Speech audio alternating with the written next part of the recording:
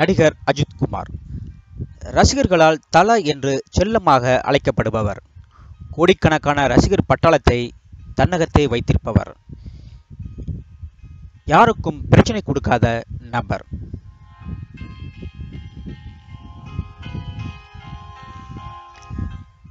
ஆரம்பத்தில் பைக் மெக்கானிக்காக இருந்த அஜித் விளம்பர படங்களில் நடித்து வந்தார். அதன்பின் எந்த பின்புலமும் இல்லாமல் சினிமாவில் நுழைந்தார். அமராவதி என்ற படத்தின் மூலம் கதாநாயகனாக அறிமுகமானார்.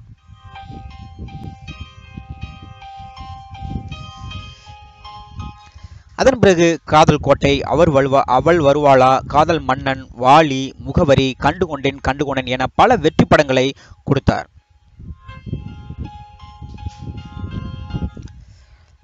அதன் பிறகு இயக்குனர் முருகதாஸ் இயக்கிய தீனா என்ற படத்தின் மூலம் புகழின் உச்சிக்கு சென்றார். இந்த படத்தில் இருந்துதான் அஜித்துக்கு தலா என்ற பட்டம் கிடைத்தது.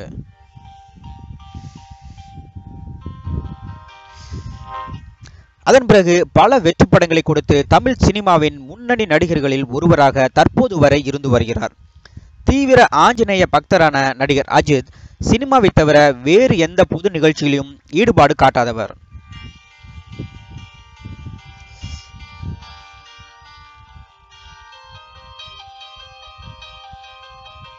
அதற்கு உதாரணமாக சமீபத்தில் அஜித் ரசிகர்கள் என்ற பெயரில் நூறுக்கும் மேற்பட்டோர் தமிழிசை தவுன் சவுந்தரராஜன் முன்னிலையில் பாஜக கட்சியில் சேர்ந்தனர். இதனை அறிந்த தல அஜித் தான் எப்போதும் அரசியலில் ஈடுபடப் போவதில்லை என்று வெளிப்படையாக கூறிவிட்டார்.